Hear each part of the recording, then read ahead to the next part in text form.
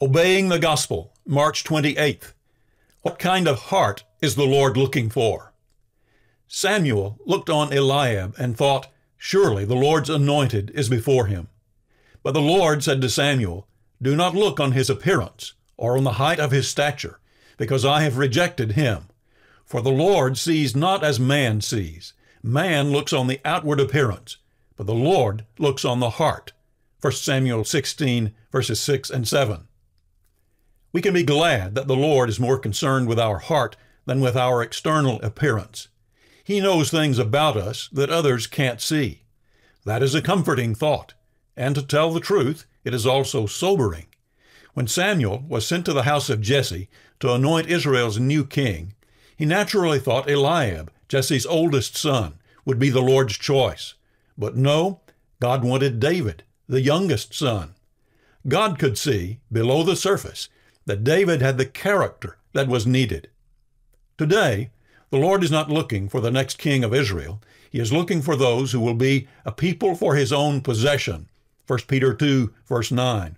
Those who will respond gratefully to the gospel and be eager to live in a reconciled, joyful relationship with him. But if he is to have a people who are uniquely his possession, what will their character be like? What kind of heart is the Lord looking for? Penitent hearts. The Lord is near to the brokenhearted and saves the crushed in spirit. Psalm 34:18. Are we humble individuals who know what the tears of godly sorrow taste like? Committed to the Lord's ways. Of King Jehoshaphat, it was said that his heart was courageous in the ways of the Lord. 2 Chronicles 17:6. God has always looked for hearts like that. And then loyal to the Lord. God said of Solomon, his heart was not loyal to the Lord his God. 1 Kings 11, 4 and 6 in the New King James Version. Of the traits that God desires, few, if any, are more important than loyalty and reliability. When we obey the gospel, we begin to grow in these qualities. But there is a sense in which these are the traits that make a person responsive to the gospel in the first place.